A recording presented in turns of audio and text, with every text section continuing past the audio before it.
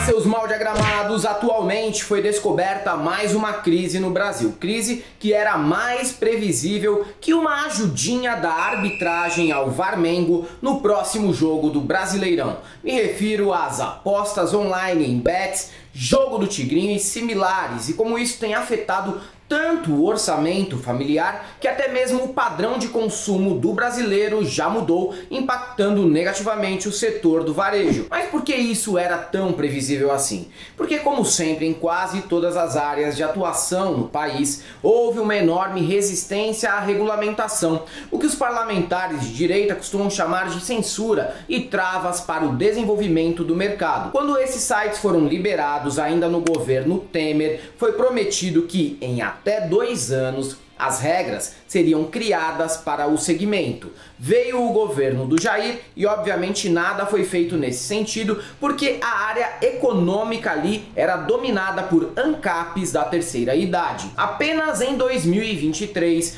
quando o terceiro governo Lula já estava no poder, que a regulamentação enfim saiu. Mas com pressão da bancada evangélica e de bolsonaristas, a regulamentação se focou mais em apostas de cotas fixas, como a das bets, quando a pessoa sabe quanto pode ganhar quando acerta o resultado. O foco priorizou a arrecadação para equilibrar as contas do governo e não a diminuição do impacto das propagandas das bets, que na minha visão deveria ser tão restritiva quanto a dos cigarros. Mas antes de continuarmos com esse assunto, fiquem agora com a mensagem da Insider e do nosso garoto propaganda, o Marco Bezzi. Faz frio, faz calor. Faz frio, faz calor. Faz frio, faz calor. Em qualquer condição climática, você sempre estará bem vestido com as peças da Insider. E eu vou te dar mais alguns motivos para encher seu guarda-roupa com essas peças maravilhosas. Elas não deixam cheiro. Ah, delícia. Não precisam passar porque desamassam no próprio corpo ou no cabide e secam rapidamente. Além de serem mega confortáveis e caírem bem em todo tipo de corpo. Eu uso as peças da Insider para qualquer ocasião. Elas são um tipo de camaleão para sair, namorar, trabalhar, ficar em casa, etc. E para você que está assistindo a este vídeo, clicando no link que está na nossa descrição e no primeiro comentário, você vai ter 18% de desconto em qualquer peça do site da Insider, se essa for sua primeira compra. Isso aí, 18%. Para você que já é cliente, o desconto continua de 12%. Saia dos piores vídeos da semana e entre nas melhores camisetas, underwears, moletons, jaquetas, bermudas. Venha para o universo e o time da Insider. Bora! A parte publicitária está longe de ter qualquer tipo de restrição. Sites de apostas e cassinos online gastam muito e pagam bem para os mais populares influenciadores e artistas divulgarem seus jogos de azar na TV e na internet. E principalmente no futebol brasileiro, onde hoje quase todo time é patrocinado por sites de apostas,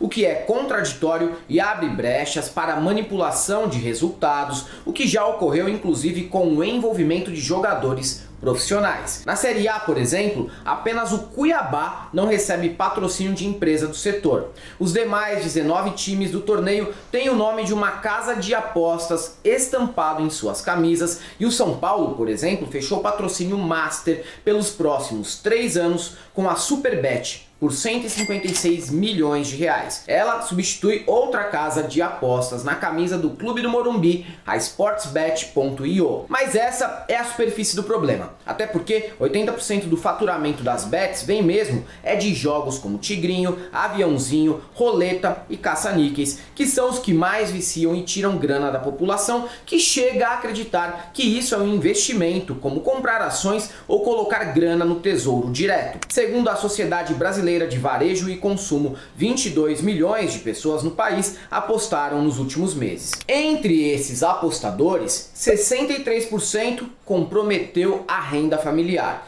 23 deixou de comprar roupas, 19% deixou de comprar em supermercado, 14% deixou de comprar produtos de higiene e saúde e 11% deixou de adquirir medicamentos. Sim, Tem gente vestindo trapos, devendo para a agiota, comendo menos, fedendo e deixando de tomar remédio para girar roleta virtual no Brasil. E muitas vezes nem sabemos, porém, essa pessoa pode estar perto de nós, dividindo o mesmo teto. Mas como os sinais não são tão evidentes como o do uso de drogas, é mais demorado para perceber o problema. Só é possível notar quando o viciado perdeu demais o controle sobre a própria vida e assume que está sendo ameaçado por agiota, deixa de pagar a conta de luz ou é preso por desviar dinheiro da empresa em que trabalha, como uma mulher fez em Arapiraca. E a população mais vulnerável é também a mais jovem. 30% de brasileiros entre 16 e 24 anos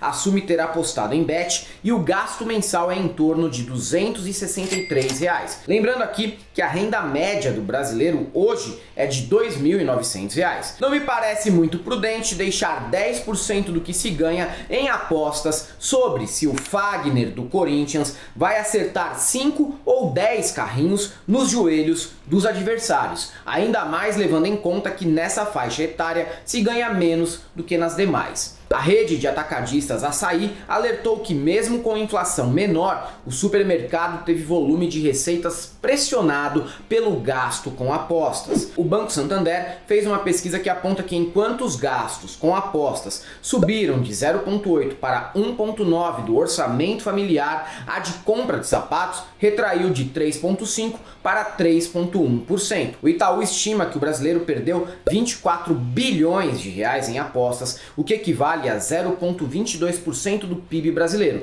Mas isso vai aumentar, pode anotar, até ano que vem bate 1% do PIB. Um gráfico publicado pelo ICL mostra o crescimento vertiginoso das bets no Brasil. O país que até 2018 nem aparecia entre os 15 que mais acessam apostas virtuais, passou a liderar o ranking mundial com folga. O período de crescimento coincide claro, com a norma aprovada no final do governo Temer. E novos players vão entrar nesse mercado com um caixa forte por trás. Me refiro às TVs Globo, SBT e Band. As três lançarão as próprias plataformas de apostas. A verdade é que, na miúda, a Globo e o SBT já operam nesse mercado. A família Marinho controla o Cartola FC, Fantasy Game, que já tem suas modalidades pagas, e o SBT opera há décadas a Telecena que é um jogo de azar disfarçado de título de capitalização. Isso sem contar claro, o envolvimento do PCC, do Comando Vermelho e do jogo do bicho nessas casas de apostas que são usadas tanto para ampliação dos negócios como para lavagem de dinheiro, fortalecendo ainda mais o caixa do crime organizado. Era óbvio que isso aconteceria. A direita brasileira costuma defender a falta de regulamentação com a justificativa de proteger o mercado, mas na verdade falta de regulamentação ou regulamentação falha gera oportunidades para facções limparem a grana do crime e se envolverem em setores com grande movimentação financeira. No fim, essa posição é apenas lobby para proteger quem financia as campanhas dessa corja pelo Brasil. Em menos de uma década, Bet virou problema de saúde pública, de ordem financeira, segurança e de política. Mas o libercorno de internet vai insistir que apostar trata-se apenas de uma decisão pessoal, até que o pai dele apareça pendurado num poste do bairro após dever 400 mil para um agiota com o shape do Tony Soprano aí talvez ele mude de ideia. É isso aí, galera. Para quem gosta do nosso canal, nós temos o apoio, seja membro e Pix conta jurídica, caso vocês queiram possam fazer uma colaboração pra gente, ao invés de gastar dinheiro com o jogo do Tigrinho. Além do YouTube, estamos presentes também no Facebook, no Twitter, no TikTok, no Instagram. Sigam a gente por lá. Não deixe de conhecer nossos novos modelos de camiseta no site do Cabriton e o nosso curso no ICL, o Instituto Conhecimento Liberta. E para todos aqueles que não veem mal nenhum numa apostinha e acreditam que sempre vão ter o controle daquilo que gastam Nessas plataformas, só temos uma coisa para te dizer: não passarão.